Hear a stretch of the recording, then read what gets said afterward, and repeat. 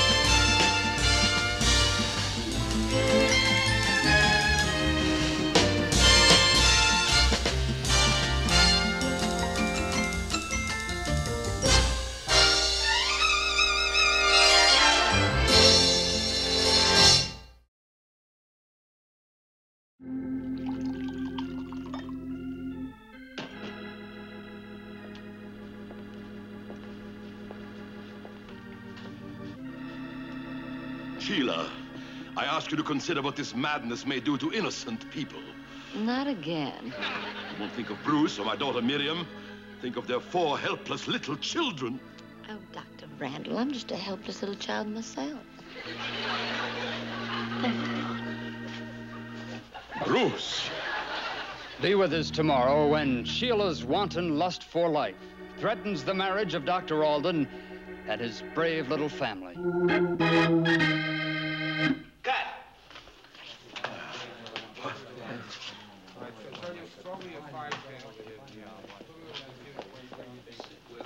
Hey! You were awful. Oh, I'm so sorry. I mean, I was trying so hard to be good. No, I mean, Sheila was awful. You were great. Really? You mean you really like my performance? You showed us enough rottenness to keep that character going for months. well, I'll be rotten as long as it lasts. Judy, you can't believe a day like I had today. Such a big part, three whole thing. And when I wasn't on, they were talking about me. Oh, and what they said. And the whole building was watching, and my mother called. And I never realized what a huge audience a soap opera has. Are you kidding? Everybody watches it. Oh, and you're gonna be a real celebrity. Now, Judy, I know this sounds crazy, but people actually seem to recognize me in the subway coming home. Ann Marie, girl television star. You want to come over and have a sandwich? No, thanks. I've got a date for lunch. Oh, at some fancy restaurant? The fanciest. Oh, how exciting. With a television producer? No, with Donald. I'm meeting him at Saul's Delicatessen. Oh.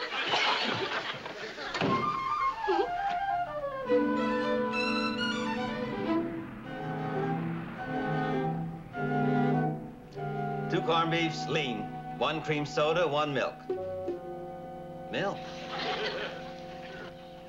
The director said I was awful. I mean, he really hated me. And you're happy about that? Yes. The rottener Sheila is, the longer I stay on the show. And she is so rotten, Donald. Here's the corned sandwiches, lean. Thank you. You promised a picture. Where is it? Oh, Saul, I didn't know you were serious. Certainly. I'm moving Burl over the bologna, and you're getting the place of honor over the bagels. Donald, isn't that exciting? Saul's going to put my picture over the bagels. Yeah, if we can get him to put mine over the cream cheese, we got a sandwich. Listen, Ann, I got the call from my parents. They're definitely coming. Definitely coming? I didn't know they were indefinitely coming. Well, I didn't want to mention it to you until I was sure they were coming. They're coming. Well, great. When? In a few days. I'm very anxious for you to meet them. Oh, I'm anxious to meet them. Good, because you're going to meet them. You know we ought to find some really fabulous places to take them. We could take them to some good restaurants and the theater and the fights. Wait a minute, what's my mother going to do at the fights? Well, your father might like them. And we should take them to Rocky's. Now, that's a very elegant restaurant, and a lot of actors go there. And it's typically New York.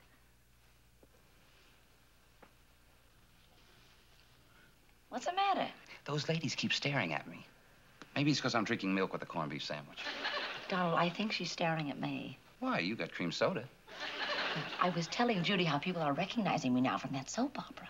Oh, oh yeah. I guess a lot of people do see you. It's really amazing, Donald. I mean, everywhere I go now, people seem to look at me just a little bit longer than they used to. Honey, aren't you uh, exaggerating a bit? Well, it's a small part, but a lot of people watch it. Oh, Donald, they're coming over. Maybe they're going to ask me for my autograph. Don't I know you? You look familiar. Don't I know you from somewhere? Oh, well, I think maybe it's because I... Don't tell me. I know I've seen you before. you know, I never forget a face. well, I think the reason I look familiar to you is... Ann Marie. That's right. Helen Marie's daughter. I remember she was as fat and round as a cantaloupe. well, uh, when you talk to your mother, be sure and say that Rose from Yonkers was asking after her, won't you? Yes, I will. Bye-bye. I certainly hope Saul didn't hear that. Why? Bert will be back over the bagels. Okay, now, here I come. Tell me what you think and be perfectly frank. Oh! Do you look sexy? I do? Oh, that's terrible. I don't want to look sexy the first time I meet Don's parents. How do you want to look? Likable. So wear a likable dress. What do you think is more likable, tweed or jersey? Look, they're like you no matter what you wear. I don't understand. Why are you so nervous? Well, you know. What happened the first time you met Leon's parents? His mother said, how would you like to meet my son, the doctor? Oh, really? Then they liked you right away. Oh, yes. It was Leon I had the trouble with. Okay, now, here I come. This is a little more conservative. Tell me what you think. Now, that's a likable dress. you really think she'll like me in it? You can't miss.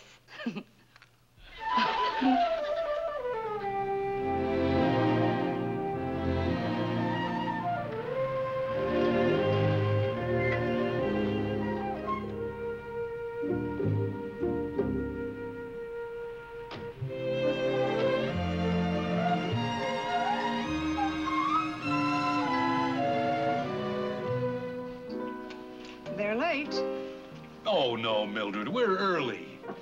Say, this certainly is a fancy place. Donald said she suggested it. I haven't seen a menu, but I'm sure it's very expensive. Why?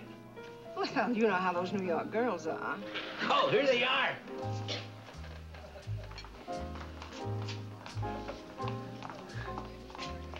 Dad, Mother, this is Ann Marie. Well, it's nice to meet you, young lady. Thank you. It's nice to meet you, sir. Yeah. And it's very nice meeting you, too, Mrs. Hollinger. Yes. Well, I certainly hope we didn't keep you waiting too long. Oh, not at all. We left early and walked over. Well, it's a nice night for that. I thought it was quite cold. Yes, it's a bit chilly. Well, did you two have a nice day? Mom, did you go to that store Ann suggested? Oh, you mean that place on your Third Avenue? Yes. Did you find anything you liked? No. No, Donald's father and I never did like old furniture full of dust and dirt. Uh, waiter? Uh, shall we order? Wouldn't anybody like a drink? Oh, that'd be nice. Uh, no, no, thank you. I don't drink. But don't let that stop you. Oh, no, I was just ordering because I thought everybody else was, but they're not, so I won't. We'll order.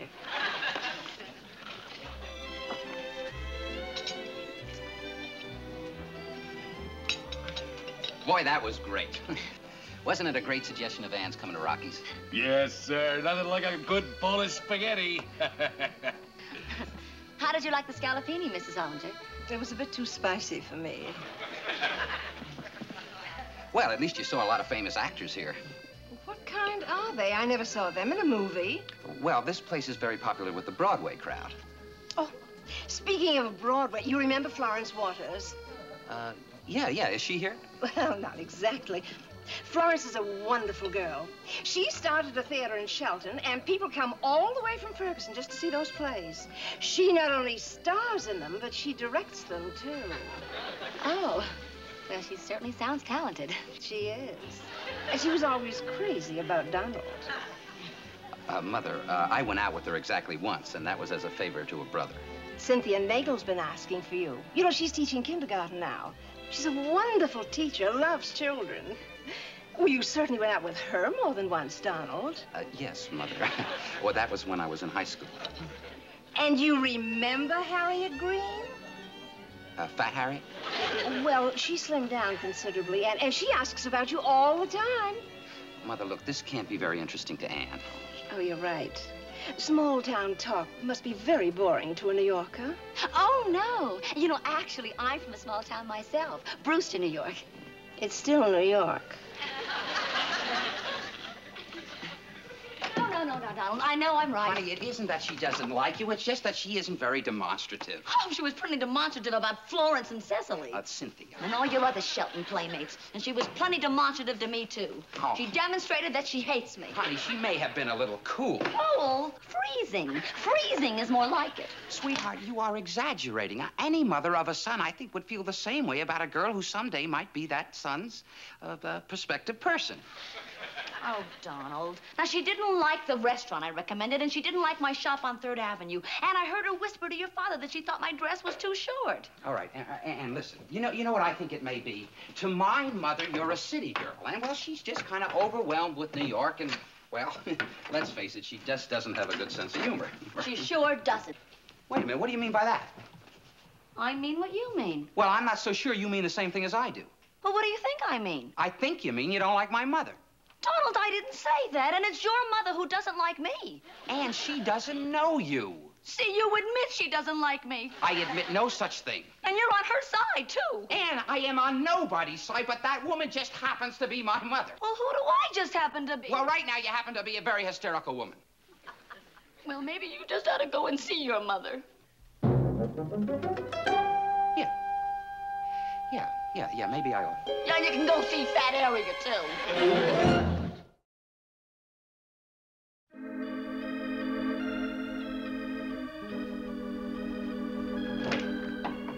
I thought I'd find you here. Oh, you again. How dare you break in here like this? I've come to fetch Bruce. His house has been robbed. His wife is gravely ill and is being sued for malpractice. It's always something. What is it, son? I, it's nothing. Just, just a headache. Are you coming?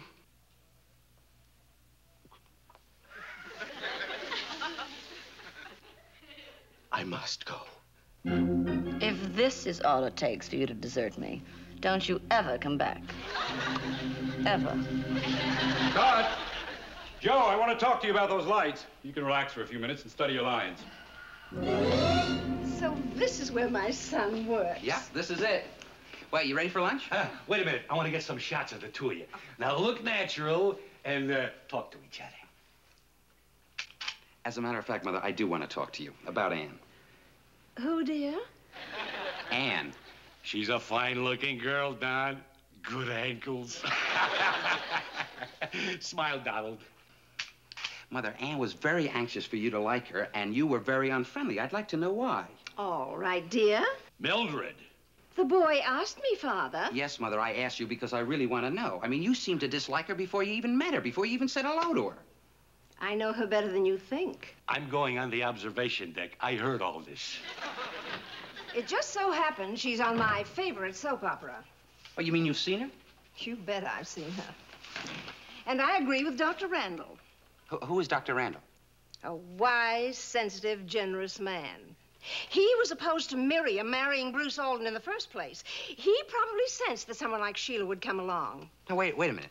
Is that why you dislike Ann, because she plays Sheila? No mother wants to see her son involved with a woman like that. But, Mother, you're talking about imaginary people, characters in a soap opera. That is fiction. It may seem foolish to you, Donald, but believe me, I know what I'm saying. Mother, Ann is not Sheila. She is an actress. It's just make-believe. I know. But your friend Ann couldn't play Sheila so convincingly if she didn't have a lot of Sheila's qualities deep inside her. Oh, Mother, that is nonsense. Is it? What about Gloria Winkler? You, you mean that little kid I went to grade school with? You remember everyone thought she was so marvelous as the witch in Snow White? Well, she turned out to be evil in real life.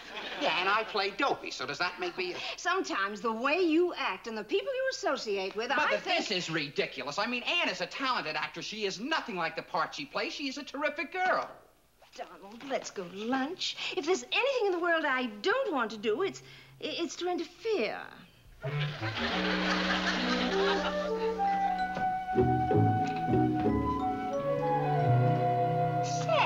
come you're not working today? Bruce Alden is spending the day with Miriam and the children. Oh, well, it's about time. I'll say. I've had a day to myself in weeks.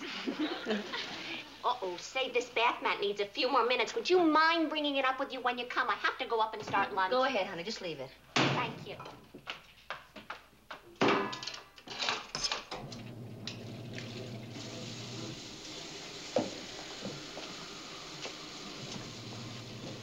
I, uh, I met Judy in the elevator. She told me you were down here. And look, I found out why my mother is so unfriendly to you. Huh? Yeah, she watches that dumb soap opera. It's not dumb. Yeah, well, what it's caused is dumb. She's got you all mixed up with that Sheila. You're kidding. No, no, I know it sounds crazy, but that is what's bothering her. What? That I'm the same as Sheila? Right, right. We argued about it all during lunch. Well, now does she understand? No, I don't think so. I, I really don't think so. I mean, she's got some kind of block about it. I mean, but, but, you know, sometimes my mother is a little strange. If you're waiting for me to agree with you, don't. Look, I couldn't believe it. She thinks Dr. Somebody or other is a saint because he... Dr. Randall? Yeah, that's it. That's it, Dr. Randall. She thinks he's marvelous, and she hates Sheila. And I'm beginning to hate her, too, and I haven't even seen her. Hey, Donald, I've got an idea. Would you mind if I invited your mother over here for dinner? No, no, no, no, not at all. I think I've got a way of winning her over. You sure you want to bother? Positive. After all, she's your mother. Oh, Donald. I'm sorry I yelled at you about going back to Fat Harriet. No chance. No chance. I like my girls on the lean side.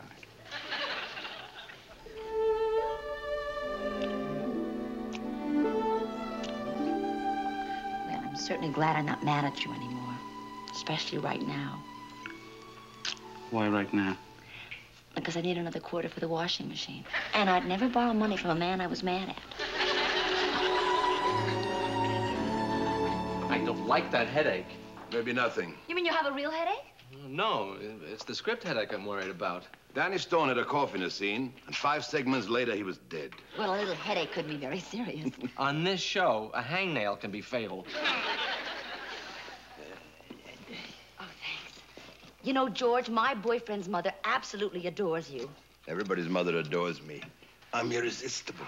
Unfortunately, however, her love for you was equaled by her hatred for me. Because you're playing Sheila? Right, how did you know? Oh, it's an occupational hazard. When you're in a soap opera, people believe that you are what you play. And to her, I'm Sheila. If you would like uh, kindly, wise Dr. Randall put in a good word for you, just say so. Oh, George, that's just what I had in mind. I'm going to have this little dinner party Wednesday night for Donald and his parents. Would you make a little house call? In an emergency, always. I bring my best bedside manner. Oh, thanks, George. My friends call me kindly wise. Oh, Dr. Randall, I. Oh, I'm so thrilled meeting you personally. I just, I just can't get used to calling you by your real name. I, I know you so well as Dr. Randall. Perfectly understandable. and as Dr. Randall, I prescribe before dinner drink for you. Oh, in, in that case, I'll, I'll have a little sherry. Oh, I'll get it for you. I'll get it. You know, I, I had the impression you were opposed to alcohol. Oh, oh, you mean on the show? well, I am. I'm opposed to alcohol being used to excess. I'm opposed to anything being used to excess, including abstinence. You know, I never thought of it that way. Here you are, Mrs. Hollinger. Oh, thank you. Yes. Your health, my dear. How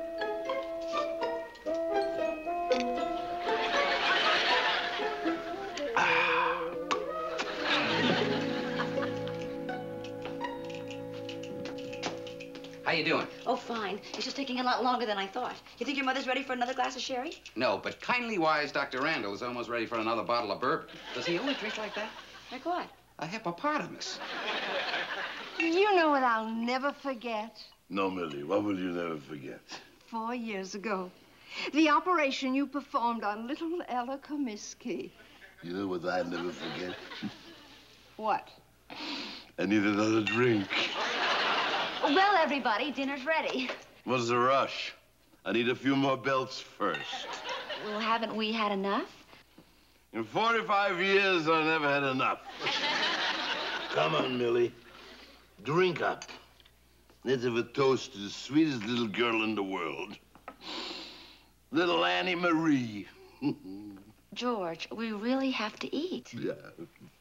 Darling, May I will you waltz you to a the table, but... Uh, if there's any waltzing to do, I'll do it. Let's go. Dad, your father's getting angry, but your mother seems to like it. Are you kidding? She's in shock. What are we gonna do? Well, listen, before we have a real disaster, let's eat fast and get him out of here. Right. Okay, what are we going to have for dinner? Oh, well, I've made a beef stew with wine. That should do it. Oh, mighty good food, Ann. You don't get that kind of stew much in Shelton. Let me tell you about the time I played Shelton. Which Shelton do you mean? There are Sheltons in five or six different states. Don't mix me up, Millie. Don't try to trick me. Uh, excuse me, uh, Georgie. I, Georgie boy, I think that's for you. What's for me? Did you drive here? Well, you're not going to drive. I gotta drive home. I'm in no condition to walk. Order you a cab. You can pick up your car in the morning. Georgie, would you take him, please? 324 East 48. Thank you. Good night, Georgie.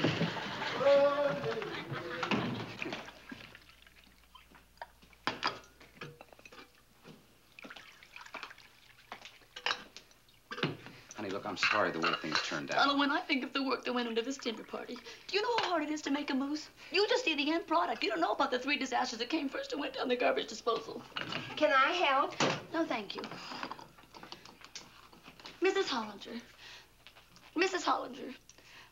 I am very sorry about what happened tonight, but I just wanted you to like me or dislike me, but for myself. And I wanted to convince you that I am nothing like Sheila. Ann. And Dr. Randall convinced me you're nothing like Sheila. He did? Well, he turned out to be nothing like the man he plays on the show, so. So why should you have to be like Sheila?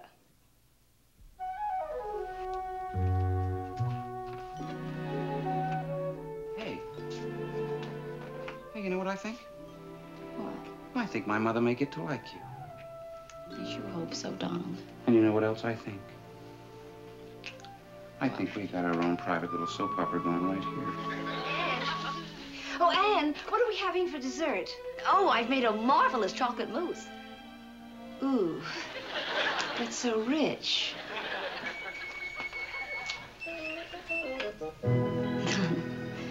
You know that soap opera you were talking about before? Yeah? Well, I think there are going to be a lot more episodes before there's a happy ending.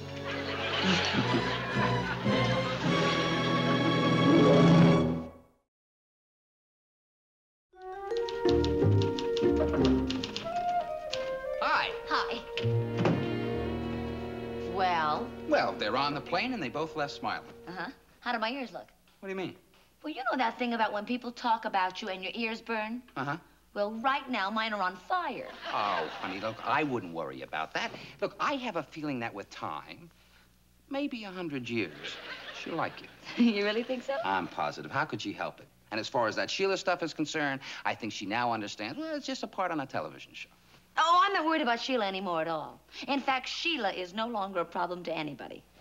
What do you mean? Look, I'll show you. Well, what? Right there. See that direction? Sheila coughs several times. So what? She's got a cold. Not on this show. I figure in about two weeks, Sheila's cough will be pneumonia and Ann Marie will be unemployed. Are you sure? Sure, I'm positive. I checked with the wardrobe man, and they've already ordered Dr. Alden's black suit for my funeral.